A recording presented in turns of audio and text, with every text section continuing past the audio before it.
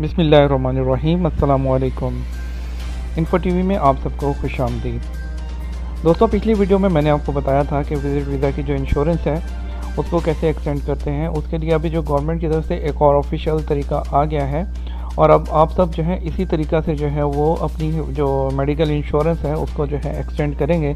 जब आपने जो है, वो सऊदी विज़िट वीज़ा को जो है, आपने एक्सटेंड करना है तो बिल्कुल इसी तरीक़ा से जो है, आप इसको एक्सटेंड करेंगे। सबसे पहले आपने जो है ये वेबसाइट ओपन कर लेनी है, ये www.alraji.com ये लिंक मैं नीचे भी दे दूँगा, ये आपकी स्क्रीन पर आपको नज़र आ रहा है।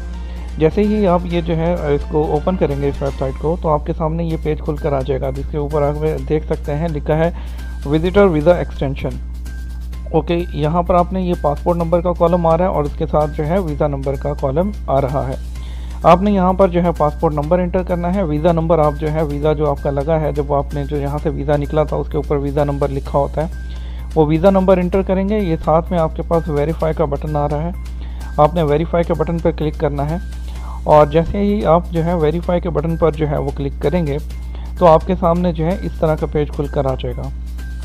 ये आप अपनी स्क्रीन पर जो देख रहे हैं इस वक्त, ये हेल्थ इंश्योरेंस की डिटेल आपके सामने खुलकर आ जाएगी, जिसमें माई पॉलिसीज़ और जिस बंदे के जो है जो विजिटर है, उसकी पूरी डिटेल यहाँ पर लिखी होगी, उनकी पुरानी इंश्योरेंस जो है, उसकी पूरी डेट जो उसका पूरा डाटा है, वो यहाँ पर लिखा हुआ है, जिसमें पॉलिसी नंबर पॉलिसी टाइप और कवर पीरियड से किस डेट से लेकर किस डेट तक वैलिड है और प्रीमियम और जो है पॉलिसी सर्टिफिकेट आपने क्या करना है? आपने ये सबसे एंड वाला जो कॉलम है, सबसे एंड वाला जो डब्बा है, ये नज़र आ रहा है आपको, जिस पर सर्कल किया हुआ है मॉडिफाई कैंसिल आपने जो है इस पर क्लिक करना है।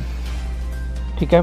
और आप जैसे ही इस पर क्लिक करेंगे तो आपके सामने ये पेज ओपन हो जाएगा, जो आप इस वक्त अपनी स्क्रीन पर देख रहे हैं। इस पेज में आपने देखिए, आपके पास बेनिफिशरी इन्फॉर्मेशन आ रही है, ठीक है? और जिस बंदे का होगा, उसकी इन्फॉर्मेशन आएगी। एंड पे आपने देखना है, एक ये जो बटन आ रहा है डिक्लेरेशन फॉर्म क्लिक हेयर आपने इस पर क्लिक करना है, ठीक है? जैसे आप इस पर क्लिक करेंगे तो आपके पास जो है ऑप्शन जो खुलेगी, आप उसको जो है नो कर दीजिए या रीड पढ़ना है तो पढ़ लीजिए।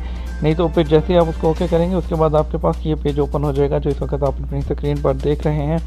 बॉर्डर नंबर इन्फॉर्मेशन अब बॉर्डर नंबर बॉर्डर नंबर क्या होता है? आपको बता दूँ बॉर्डर नंबर जो है, जब आप सऊदीया में एंटर होते हैं तो पासपोर्ट के ऊपर आपके जहाँ स्टैंप लगती है, वहाँ हाथ से जो है वो पेंसिल से, या बॉल पॉइंट से जो है वो अरबिक में एक नंबर लिखते हैं।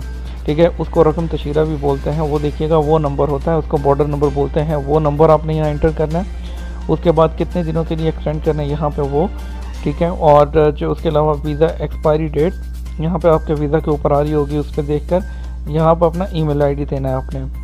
ओके कैलकुलेट प्रीमियम पर आपने क्लिक कर देना। है जैसे ही आप कैलकुलेट प्रीमियम पर क्लिक करेंगे तो आपके पास जो है, आपके सामने पेज ओपन हो जाएगा, जहाँ पर आपके जो है अमाउंट बताई जाएगी, वो तकरीबन बावन रियाल बनती है तीन माह के लिए।